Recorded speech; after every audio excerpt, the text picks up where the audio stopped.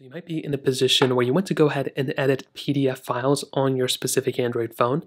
Now I will tell you there's a bunch of different ways to do this, but a lot of them are paid methods now, which is kind of weird. So if you want, you can make your way over to your Play Store right here, and you can just type in PDF, and you can probably find tons of different PDF editors available. In this case, as you can see, Adobe has a really popular one, Adobe Acrobat, but there's a lot of other ones you can go and edit. Google also has a built-in specific one inside of Android.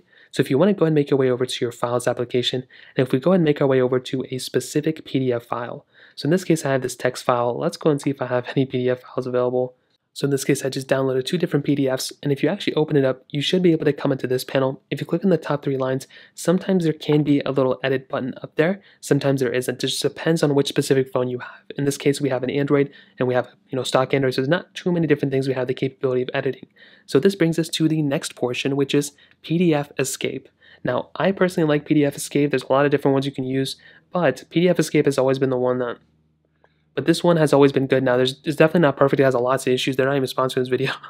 but it's the one that I use typically online and it's fairly easy to use. So what we can do is we can make our way over to this website or any other website that's an online PDF editor and you can go ahead and just click free online right there, which is normally what I do. And I normally just bring in my PDF that I do. So you can create a new PDF if you want, but we can also upload a PDF document. So in this case, we'll just go and click here, we'll go and click choose file, and we can go ahead and basically allow while using the app, whatever, and we want to bring in that specific PDF file that we just downloaded.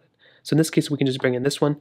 It'll go ahead and bring it in, and we'll be able to edit this PDF file within our specific Android phone. It's completely for free. It's not the best UI, but it works. So you can go and click around if I wanted to add text or something along those lines. I don't know even if this is an editable, you know, PDF file, but I can go and click inserts and I can go and bring in whatever I want to. If I want to bring in text, I can go and bring in text or add image or whatever the case is.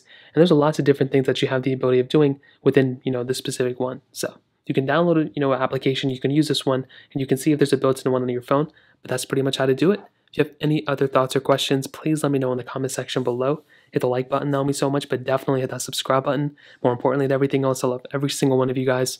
Hopefully I'll catch you guys in the next video. Peace out till then.